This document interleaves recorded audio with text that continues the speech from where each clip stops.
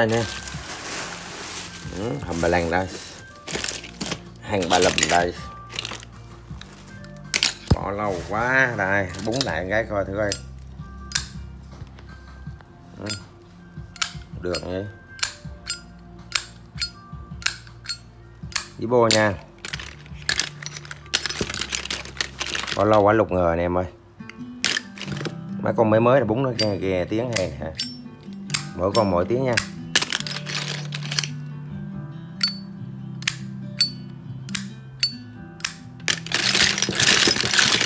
Quẹo lưa quẹo lưa. Con đà nó, nó bắn lơ nó chặt hơn đó đủ loại nha anh em. Mấy con đây là à, mấy con đây là hàng nồi hết đó nha. Chứ không phải hàng ở đây đâu nè. Ví dụ như con này thì để mình nhìn nha anh em mà nó nhìn không rõ đâu.